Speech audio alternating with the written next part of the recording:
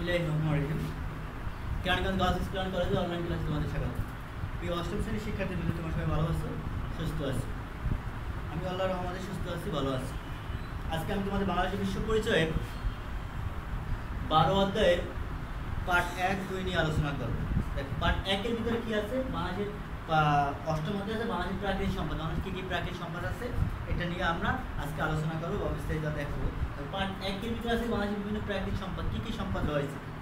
প্রাকৃতিক কাছ থেকে পাওয়া বস্তুকে আমরা প্রাকৃতিক সম্পদ বলি? অর্থাৎ প্রকৃতির কাছ থেকে যেসব বস্তু পাই, আমরা ব্যবহার করি, এগুলো হচ্ছে প্রাকৃতিক সম্পদ। মানুষ প্রকৃতি থেকে এই পেশাব দ্রব্য সম্পদ আহরণ করে থাকে। এর ফলে মানুষের অর্থনৈতিক এবং সামাজিক জীবনের অগ্রগতি ঘটে। প্রাকৃতিক সম্পদ পরিকল্পিতভাবে ব্যবহার করলে দেশের সামাজিক ও অর্থনৈতিক অর্থনৈতিক উন্নয়ন ঘটানো সম্ভব। বাংলাদেশের বিভিন্ন প্রাকৃতিক সম্পদ। প্রকৃতির মধ্যে নানা মূল্যবান সম্পদ রয়েছে, যেমন এক- নম্বর কি বাংলাদেশের বিভিন্ন প্রাকৃতিক সম্পদ রয়েছে, প্রকৃতির মধ্যে নানা গুরুত্বপূর্ণ সম্পদ রয়েছে। এর ভিতরে মাটি, পানি, বায়ু, গাছপালা, জীবজন্তু, ফসল খনিজ দ্রব্য ইত্যাদি। এসব প্রাকৃতিক বস্তুকে মানুষ নিজেদের চাহিদা ওর মতো রূপান্তরিত করে ও কাজে লাগায়। নিচে আমরা বাংলাদেশের প্রাকৃতিক সম্পদ সম্পর্কে আলোচনা করব। মাটি মাটি বাংলাদেশের মূল্যবান প্রাকৃতিক সম্পদ। মাটি হচ্ছে বাংলাদেশের একটা মূল্যবান প্রাকৃতিক সম্পদ। এদেশের সমতল ভূমি খুবই উর্বর। এদেশের সমতল ভূমি খুবই উর্বর। এখানে যা বপন করা হয় তা থেকেই ফসল জন্মায়। তাই সেক্ষেত্রে বলা যায় মাটি খুবই উর্বর। বেশিরভাগ এলাকায় তিনটি ফসল উৎপন্ন হয়। দেশের দশ ভাগের এক ভাগ অঞ্চল পাহাড়ি এলাকা। বাংলাদেশে প্রচুর বাণী, প্রাণিজ বন ও ও খনিজ সম্পদ রয়েছে। নদ নদী বাংলাদেশের নদীমাতৃক দেশ। বাংলাদেশ একটা নদীমাতৃক দেশ। এদেশে ছোট বড় অনেক নদী আছে দেশে ছোট বড় অনেক নদী আছে, অনেকগুলো নদী আছে, নদীগুলো মালামাল পরিবহনের সহজ মাধ্যম, নদীর পানি প্রবাহ থেকে বিদ্যুৎ উৎপন্ন করা হয়, এছাড়া বিপুল পরিমাণ মৎস্য সম্পদের প্রাণ মৎস্য সম্পদ, মৎস্য সম্পদের উৎস হচ্ছে কি এই নদী নালা। খনিজ সম্পদ বাংলাদেশের মাটির নিচে রয়েছে নানা রকম মূল্যবান পদার্থ, মূল্যবান খনিজ সম্পদ এগুলোর মধ্যে কয়লা, গ্যাস, পেট্রো, কয়লা, গ্যাস, সোনাপাতা সিনেমাটি সিলিকা, বালু ইত্যাদি। বনজ সম্পদ বনভূমি থেকে যেসব সম্পদ আহরণ করা হয়, তা হচ্ছে বনজ সম্পদ। যেমন বিভিন্ন পশুর হাড় পশুর শিং, পশুর চামড়া, বিভিন্ন গাছপালার বিভিন্ন আসবাবপত্র তৈরি করার জন্য কাঠ সংগ্রহ করা হয়। এগুলো বনজ সম্পদ হিসেবে পরিচিত। এগুলো ব্যবহার করে আমরা কি? বিভিন্ন ঘর, বাড়ি তৈরি, দালান কোটা নির্মাণ করার কাজে সামগ্রী হিসেবে ব্যবহার করে থাকি। একটা দেশের উন্নয়নের জন্য সরকার পঁচিশ পার্সেন্ট বনভূমি থাকা প্রয়োজন। কিন্তু বাংলাদেশে মাত্র আছে কয় ভাগ বাংলাদেশে মাত্র আছে ষোলো ভাগ মৎস্য সম্পদ বাংলাদেশে অনেক নদ, নদী, খাল, বিল, দেশের দক্ষিণ বঙ্গোপসাগরে রয়েছে। এসব খাল, বিল, নদীতে রয়েছে প্রচুর মিঠা পানির মাছ। এছাড়া সামুদ্রিক মাছ ছাড়াও আমাদের খাদ্যের চাহিদা পূরণ করে সামুদ্রিক মাছ আমাদের খাদ্যের চাহিদা। সামুদ্রিক যেসব মাছ আমরা সংগ্রহ করে থাকি, সামুদ্রিক মাছ যেসব মাছ সংগ্রহ করে সেক্ষেত্রে আমাদের খাদ্যের চাহিদা মৎস্য চাহিদা পূরণ করে থাকি। এরপর প্রাণীজ সম্পদ। প্রাণীজ সম্পদের মধ্যে গরু, মহিষ, ছাগল বেড়া হাঁস, মুরগি, প্রভৃতি রয়েছে। এসব আমাদের এছাড়াও রয়েছে নানা প্রজাতির পাখি। এগুলো আমাদের গৃহ প্রাণী।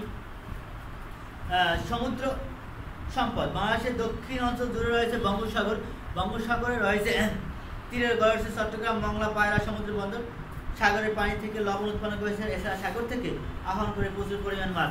অর্থাৎ সমুদ্র থেকে আমরা সমুদ্র তীরে, মংলা, তারপর চট্টগ্রাম এবং পায়রা, সমুদ্র বন্দর, সমুদ্র তীরবর্তী স্থানে গড়ে উঠেছে। এছাড়া সমুদ্র থেকে বিভিন্ন পরিমাণ মৎস্য মৎস্য সংগ্রহ করে সমুদ্রের পানি থেকে লবণ লবণ তৈরি করে লবণের চাহিদা পূরণ করে থাকে। এগুলো আমাদের গুরুত্বপূর্ণ প্রাকৃতিক সম্পদ।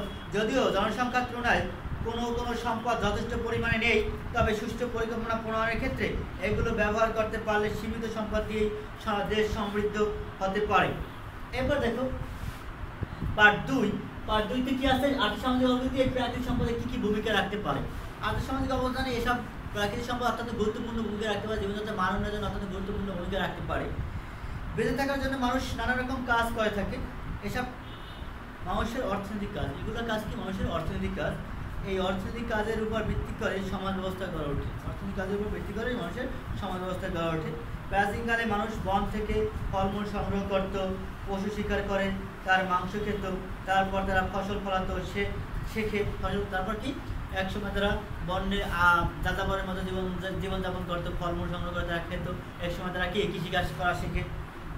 কৃষিভিত্তিক সমাজ ব্যবস্থা তৈরি হয়, খাদ্য, অন্যান্য উৎপাদন বন্টন ভোগকে কেন্দ্র করে মানুষ আর্থসামাজিক ব্যবস্থা গড়ে ওঠে খাদ্য অন্যান্য পণ্য সামগ্রী ব্যবহার করে আর্থসামাজিক ব্যবস্থা গড়ে ওঠে। এরপর দেখো প্রাচীনকাল থেকে শুরু করে মধ্যযুগ পর্যন্ত যেসব সম্পদ ব্যবহার করে, তার সবটাই ছিল প্রাকৃতিক। অর্থাৎ প্রাচীনকাল থেকে মধ্যযুগ পর্যন্ত যেসব মানুষ যেসব সম্পদ ব্যবহার করে, তার সবগুলোই ছিল প্রাকৃতিক সম্পদ। কিন্তু বর্তমানে কিছু মানুষ সম্পদও রয়েছে। প্রাকৃতিক সম্পদকে রূপান্তর করে মানুষ নিজেদের প্রয়োজন তা ব্যবহার করছে। অর্থাৎ প্রাকৃতিক সম্পদকে মডিফাই করে, প্রাকৃতিক সম্পদকে রূপান্তর করে, প্রাকৃতিক সম্পদকে গুণগত মান বৃদ্ধি করে বর্তমান যুগকে এগুলো মানুষের ব্যবহার উপযোগী করে তুলছে। আধুনিককালে মানুষ কয়লা, লোহা, পাথর, স্বর্ণ, রৌপ্য ইত্যাদি, গ্যাস ইত্যাদি খনিজ পদার্থ উত্তোলন করতে শিখেছে। আধুনিককালে কি গ্যাস, স্বর্ণ, রৌপ্য, গ্যাস ইত্যাদি খনিজ পদার্থ সংগ্রহ করতে শিখেছে।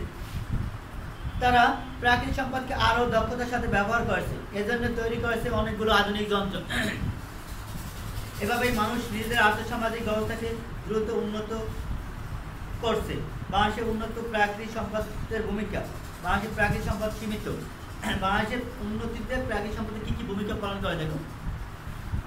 বাংলাদেশের প্রাকৃতিক সম্পদ খনিজ সম্পদ খুবই সীমিত, অল্প পরিমাণ আছে। কিন্তু এই অল্প পরিমাণ সম্পদটা যদি আমরা সঠিকভাবে ব্যবহার করতে পারি, বাংলাদেশ আরও সমৃদ্ধশালী একটি রাষ্ট্রে পরিণত হবে। এখন উন্নয়নশীল রাষ্ট্র দিকে দাবিত হচ্ছে। উন্নয়ন রাষ্ট্রের দিকে আমরা আস্তে আস্তে আরও আরও উন্নয়নের দিকে আমরা কি দাবিত হতে পারব? অন্যদিকে সম্পদের তুলনায় দেশের জনসংখ্যা অনেক বেশি। এই জনসম্পদকে যদি আমরা কাজে লাগাতে পারি, এই জনসংখ্যাকে যদি জনসম্পদে পরিণত করতে পারি, তাহলে আমাদের দেশটা তাহলে প্রাকৃতিক সম্পদকে আরও সঠিকভাবে ব্যবহার করা হবে, দক্ষ জনশক্তি সৃষ্টির মাধ্যমে প্রাকৃতিক সম্পদ কীভাবে ব্যবহার করে, অর্থনৈতিক উন্নয়ন করা সম্ভব সেগুলো আমরা আয়ত্ত করতে পারব। এরপর দেখো, উৎপাদন কর্মসংস্থান বৃদ্ধি। উৎপাদন এবং কর্মসংস্থান বৃদ্ধি। দেশের, আমাদের দেশ কৃষি প্রধান। দেশের, এদেশের মাটি খুব উর্বর। এই উর্বর মাটি যথাযথ ব্যবহার করলে কৃষি উৎপাদন অনেক বেড়ে যাবে। অন্যদিকে শিল্পায়ন করতে হবে পরিকল্পিতভাবে। কৃষিকাজে উন্নত প্রযুক্তি ব্যবহার করলে উৎপাদন বাড়বে এবং নতুন নতুন কর্মসংস্থান সৃষ্টি হবে। ফলে কাজের জন্য যখন, কাজের জন্য তখন গায়ের লোক শহরে ছুটবে না। অর্থাৎ কৃষিকে যদি আমি আধুনিক, আধুনিকায়ন করতে পারি, তখন কৃষি ব্যবস্থা উন্নত হলে কৃষিকাজ লোকে কৃষিকাজ করতে লোক উৎসাহী হবে কৃষি ফসল করার জন্য লোক উৎসাহী হবে। ফলে গ্রামের মানুষ শহরের দিকে ছুটে যাবে না। ফলে শহরের লোকসংখ্যা পরিমাণ কমে এবং কর্মসংস্থান বৃদ্ধি পাবে। সুষম খাদ্যের অভাব পূরণ। অর্থাৎ বর্তমানে গবাদি পশু, হাঁস, মুরগি, মৎস্য এই তিন ধরনের প্রাণীজ সম্পদের ব্যবহার বেড়ে চলছে। এর ফলে সুষম খাদ্যের অভাব পূরণ হচ্ছে। অন্যদিকে লক্ষ লক্ষ খামার সৃষ্টির ফলে বহু মানুষ কর্মসংস্থান সৃষ্টি হচ্ছে। সুষম খাদ্য আমাদের মানুষের সুষম খাদ্য অত্যন্ত গুরুত্বপূর্ণ। দৈহিক দৈহিক উন্নয়নের জন্য, স্বাস্থ্য উন্নয়নের জন্য আমাদের সুষম খাদ্য প্রয়োজন। সুষম খাদ্য যেসব উপাদানগুলো রয়েছে, এগুলো আস্তে আস্তে আমাদের বৃদ্ধি পাচ্ছে এবং লক্ষ লক্ষ খামার তৈরি হচ্ছে, ফলে কি কর্মসংস্থান সৃষ্টি হচ্ছে। শেষ সুবিধা প্রদান। অর্থাৎ নদী নালা খাল বিল, আমরা শুষ্ক মৌসুমে নদী নালা খাল বিল শুকিয়ে যায়। এখন এই শুষ্ক মৌসুমে নদী নালা খাল বিল যখন শুকিয়ে যায়, পানি সংরক্ষণ করে রাখার ব্যবস্থা করা এবং গভীর নলকূপ স্থাপন করার মাধ্যমে সেই ব্যবস্থার মাধ্যমে কৃষিকাজে পরিচালনা করা, ফলে কর্মসংস্থান বৃদ্ধি পাবে এবং কৃষিকাজ কৃষি ফসল বাড়বে এবং দেশের অর্থনৈতিক উন্নয়ন হবে। শিল্পের উন্নয়ন ও ব্যবহার প্রসার। দেশের গ্যাস, কয়লার সোনাপাথর আমাদের জীবনযাত্রার কাজে লাগছে। অর্থাৎ দেশের এখন প্রাকৃতিক গ্যাস দিয়ে সার তৈরি হচ্ছে, প্রাকৃতিক গ্যাস দিয়ে রান্না বান্না তৈরি প্রাকৃতিক গ্যাস দিয়ে অনেক কলকারখানা নির্মিত হচ্ছে, কয়লা দিয়ে অনেক কলকারখানা কলকারখানা কয়লা কয়লা দিয়ে অনেক কলকারখানা নির্মিত হচ্ছে, কয়লা ব্যবহার করে অনেক শিল্প প্রতিষ্ঠান এগিয়ে যাচ্ছে, কয়লা ব্যবহার করে, আমরা ইট বাটার কাজ করছে। এখন এই যে, এই সবগুলো হচ্ছে কি আমাদের দেশের অর্থনৈতিক উন্নয়নের জন্য, অগ্রগতির জন্য গুরুত্বপূর্ণ অবদান রাখছে। এভাবে প্রাকৃতিক সম্পদ ব্যবহার হচ্ছে এবং শিল্পের প্রসার করছে বনজ সম্পদের ভূমিকা কি কি অর্থনৈতিক উন্নয়নে আর্থসামাজিক উন্নয়নে বনজ সম্পদে কি কি ভূমিকা পালন করে দেখো। ঘরবাড়ি তৈরি আসবাবপত্র নির্মাণের জন্য আমরা বনসম্পদ ব্যবহার করে থাকি। ঘরবাড়ি উন্নয়ন, ঘরবাড়ি তৈরি এবং আসবাবপত্র তৈরি করার জন্য আমরা সাধারণত কি, এই বনজ সম্পদ ব্যবহার করে থাকি। প্রাকৃতি থেকে প্রকৃতি প্রকৃতির তাপমাত্রা কমানোর জন্য বন সম্পদ অত্যন্ত কার্যকরী ভূমিকা পালন করে, অর্থাৎ তাপমাত্রা বৃদ্ধির অন্যতম কারণ হচ্ছে বন সম্পদ ধ্বংস করা। এখন যদি আমরা বনসম্পদকে সঠিকভাবে ব্যবহার করতে পারি বন সঠিকভাবে বৃক্ষায়ন করতে পারি, তাহলে আমাদের কী হবে? সঠিক এই তাপমাত্রা অতিরিক্ত তাপমাত্রা, এটা বন সম্পদ রক্ষা করে এবং ফলে জীবনযাত্রার মান উন্নয়ন হয়। অর্থাৎ কমানোর জন্য বন সম্পদ গুরুত্বপূর্ণ, অত্যন্ত গুরুত্বপূর্ণ ভূমিকা পালন করে।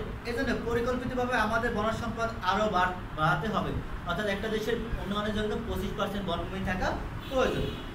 দেশের প্রাকৃতিক সম্পদ যথাযথভাবে ব্যবহার করলে দেশের কৃষি যেমন উন্নত হবে, তেমনি মানুষের কর্মসংস্থান সৃষ্টি হবে। দেশে আমাদের এই যে বিভিন্ন যে প্রাকৃতিক সম্পদকে সঠিকভাবে এবং সুন্দরভাবে যদি পরিকল্পিতভাবে ব্যবহার করতে পারি, পরিকল্পিতভাবে কার্যক্রম পরিচালনা করতে পারি, তাহলে দেশের অর্থনৈতিক উন্নয়ন হবে, দেশের মানুষের জীবনযাত্রার মান বৃদ্ধি পাবে, দেশের মানুষের মাথা পিছু আয় বৃদ্ধি পাবে সার্বিকভাবে দেশের অর্থনৈতিক উন্নয়ন হবে, দেশের উন্নয়ন হবে। ঠিক আছে? সেক্ষেত্রে আমরা দেখো, এই পার্টে আমরা কি কি পাইলাম? বাংলাদেশের বিভিন্ন প্রাকৃতিক সম্পদ সম্পর্কে জানতে পারলাম। আর্থসামাজিক অর্থনৈতিক প্রাকৃতিক সম্পদে কি কি ভূমিকা পালন করে, এটা সম্পর্কে আমরা জানতে পারলাম। ঠিক আছে, এখন দেখো, এখন আমাদের এই দুইটা পার্টে আমরা কি কি কোশ্চেন আসতে পারে পরীক্ষায় সাধারণত? আমি কোশ্চেনটা লিখে দিচ্ছি। তোমরা দেখো, তোমরা বাসায় এই কোশ্চেনটা কোশ্চেন দুটো কোশ্চেনগুলো তোমরা বাসায় একটু প্র্যাকটিস করে রাখবে।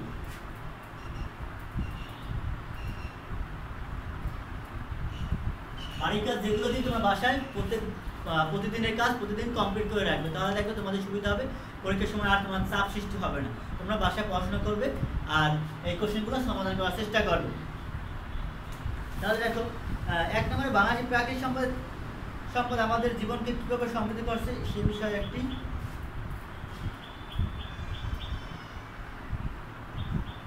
বাংলাদেশের প্রাকৃতিক সম্পদ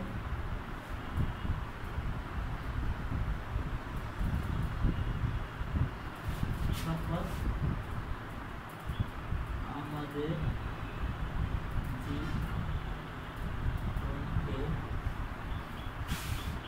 কীভাবে সমৃদ্ধি করছে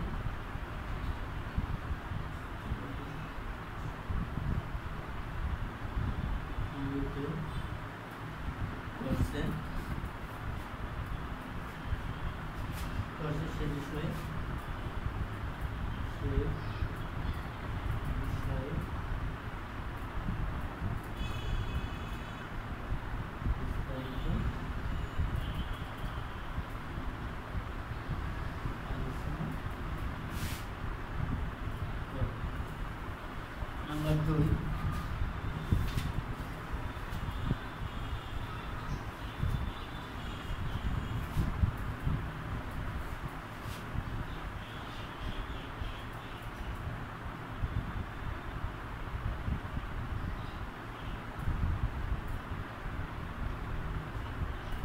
প্রাকৃতিক প্রাকৃতিক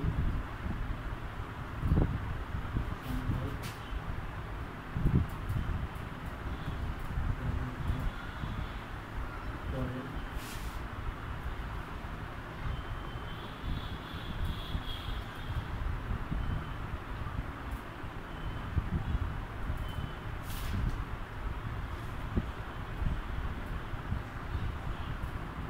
প্রাকৃতিক সম্পদ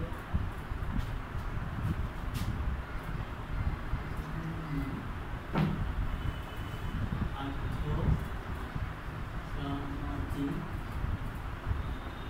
উন্নয়নে প্রাকৃতিক সম্পদের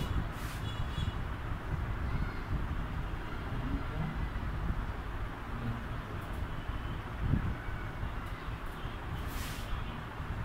তাহলে আমি দেখো, এই দুটো কাজ আমি যদি করি বাসায় তাহলে আমার দেখো এই যে যে দুইটা পার্ট আমি নিয়ে আলোচনা করলাম, এই দুটো পার্ট কোশ্চেন দুইটার ভিতরে তোমার খুঁজে পাবে, ঠিক আছে? তোমরা সবাই ভালো থাকো, তোমরা সবাই সুস্থ থাকো। আর প্রয়োজন ছাড়া বাড়ির বাহিরে বের হবে না, ঠিক আছে? তোমরা বাসায় মনোযোগ দিয়ে পড়বে আর পরিষ্কার পরিচ্ছন্ন থাকার চেষ্টা করবে, ঠিক আছে? আল্লাহ হাফেজ।